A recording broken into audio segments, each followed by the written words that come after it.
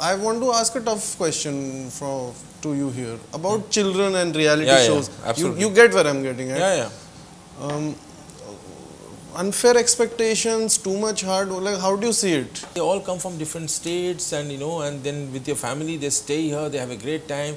Kids don't have any expectation. Parents लोग होते हैं ना कुछ वो टेढ़े होते हैं। Okay. उनको हम शुरू में सीधा हाँ? शुरू में सीधा कर देते हैं उनको बार बार बोल के। और हम लोग आइडेंटिफाई करना सीख गए कि ये- ये जो है ना पेरेंट जो है ना you, you, you are involved in absolutely audition में ही पता लग जाता है। हम लोग कई बार होता है कि लड़का बहुत अच्छा बोलता है लड़का बहुत अच्छा डांस करता है उसकी जो पेरेंट्स है ना उसे झूठ बुलवा रहे हैं यार। We can't have that them on board they are उसने जो स्टोरी बताई है हमें about his childhood and struggle is a lie so which is told by the parent और जिसने उसको डांस सिखाया? मतलब ये कॉन्वर्सेशन होती है शो में? ऑल द टाइम ऑन हम तो माइक में ही बोलते थे कई बार उन्होंने नहीं दिखाते तो हम तो बोलते क्रॉस चेक करते हैं। अच्छा।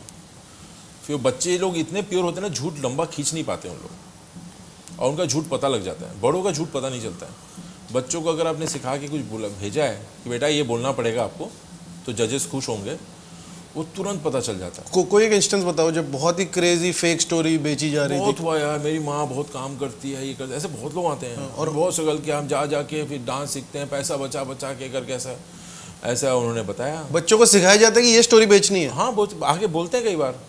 अच्छा ये ये ना पूरा गलत ये मुगालते हैं कि ये जो है शो बनाने वाले मैं सुपर डांसर की बात कर रहा हूँ ये शो बनाने वाले अ, ये करवाते ये नहीं करते ये करके उनको लगता है this is the thing we have to show this to get inside the show but you identify it and you stop it there